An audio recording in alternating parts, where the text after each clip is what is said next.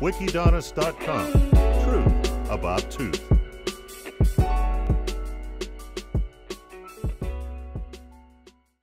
We've been talking about a lot about aligners and uh, today we are going to talk about how an aligner is done and what are the procedures associated with it, uh, what are the clinical procedures, what are the uh, procedures which is associated in the lab.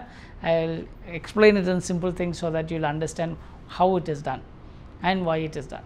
Now, an aligner is a simple thing. You, when you look at it it's just a plastic thing. It's a clear thing. Which is kept in the mouth so that you can get a uh, perfectly aligned or a, a retracted teeth or if it is actually looking bad we can actually align it and correct it. So that is so simple when you see it.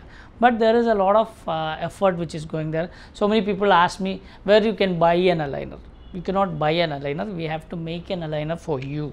It's something like a tailor made suit for you.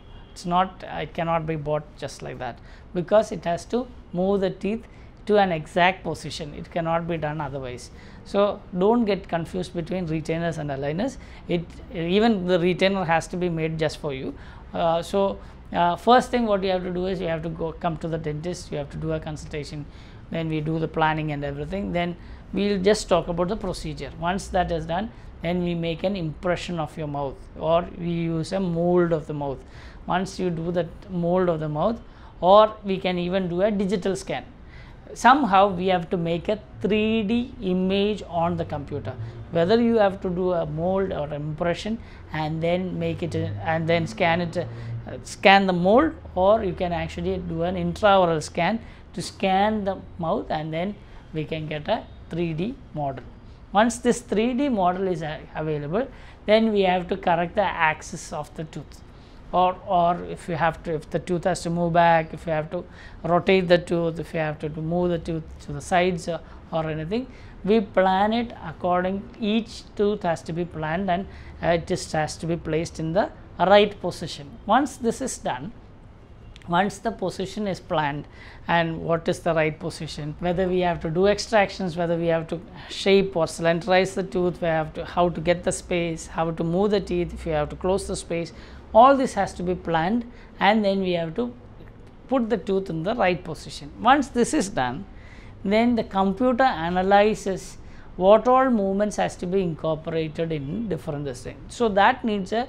comprehensive artificial intelligence played uh, a plan. It is not a simple plan which is actually a program by which all these uh, small small movements which has to be done is done in 0.26 millimeters per tooth. So, it is like every aligner will move 0.26 millimeter of a tooth. It is not one tooth which will move, different tooth will move 2.26. See if you have to think like that 0.26 millimeter of one tooth and the other tooth moves and closes a gap then around 0.5 millimeters. We are talking about millimeters but still 0.5 millimeters. So two aligners will close a gap of 1 millimeter. That's what is the whole idea. If it is moving both sides.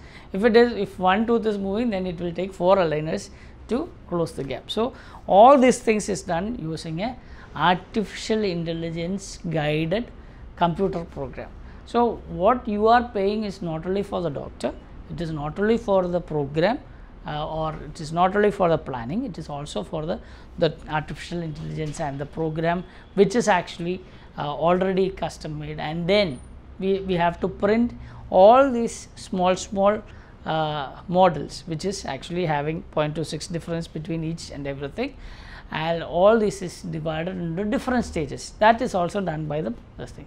Then it is 3d printed or additive manufacturing is what they call it.